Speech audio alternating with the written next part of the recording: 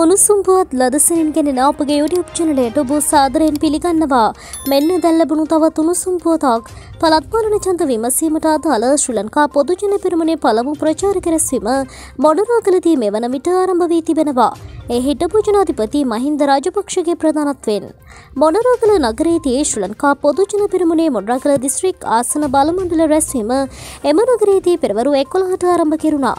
ඊට ශ්‍රී ලංකා පොදුජන පිරමුණ නියෝජනය කරන මැතිඇමතිවරුන් කීප දෙනෙකු පැමිණ සිටින බවයි අප ප්‍රදේශ ප්‍රාදේශ වාර්තාකරුවන් සඳහන් කළේ. පසුගිය නවවැනිදා පළාත් පාලන ඡන්ද විමසීම පැවැත්වීමට මැතිවරණ කොමිෂන් සභාව සූදානම් වූවද ඒ සම්බන්ධයෙන් පැවති අවිනිශ්චිත තත්ත්වයක්. ඒ හේතුවෙන් ශ්‍රී ලංකා පොදු ජන පෙරමුණ එම ඡන්ද විමසීමට අදාළ මැතිවරණ ප්‍රචාරක රැස්වීම ආරම්භ කළේ නැහැ.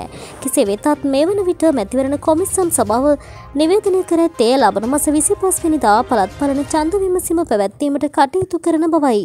මොනරාගලදී පැවැත්වෙන සිය පළමු ආසන මණ්ඩල හමුව මෙලෙස පැවැත්වෙන්නේ වන්නේ හිටපු ජනාධිපති මහින්ද රාජපක්ෂගේ ප්‍රධානත්වයෙන් මෙවැනි උණුසුම් පුවත් ලදසනින් දැන ගැනීමට අපගේ YouTube චැනලය සබස්ක්‍රයිබ් කර බෙල් එකනේ ක්‍රියාත්මක කරන්න.